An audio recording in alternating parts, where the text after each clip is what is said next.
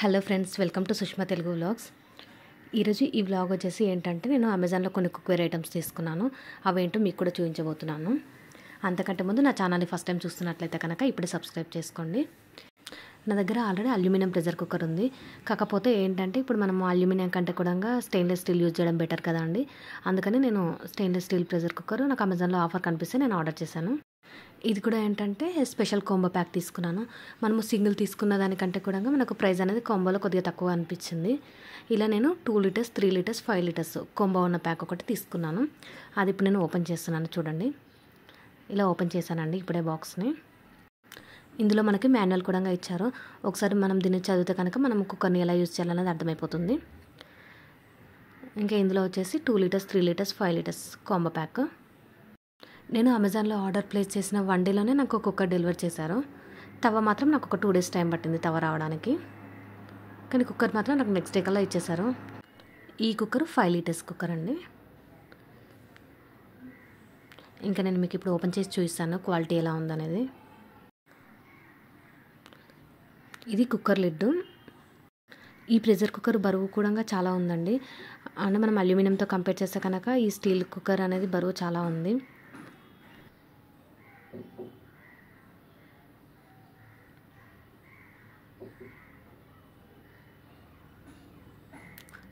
ఇది five litres cooker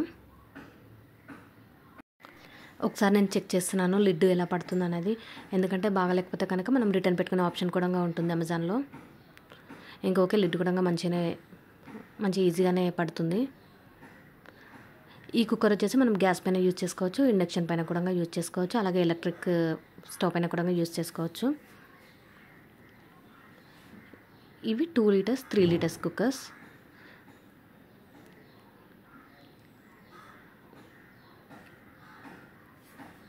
దీనికి ఏంటంటే టూ లీటర్ త్రీ లీటర్ కుక్కర్కి ఒకటే లిడ్ ఇచ్చారండి మనకు. మనము ఆ ఒక్క లిడ్ని మనము టూ లీటర్ కుక్కర్కి యూజ్ చేసుకోవచ్చు త్రీ లీటర్ కుక్కర్కి యూజ్ చేసుకోవచ్చు.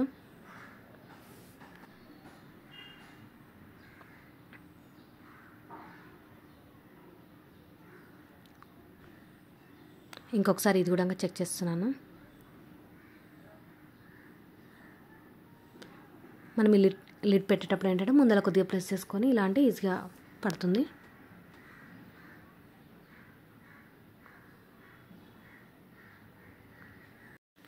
ఈ కుక్కర్స్ కూడా బరువు చాలా ఉన్నాయి.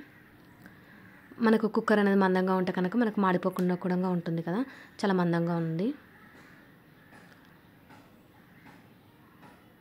నాకైతే క్వాలిటీ బాగానే అనిపిస్తుంది.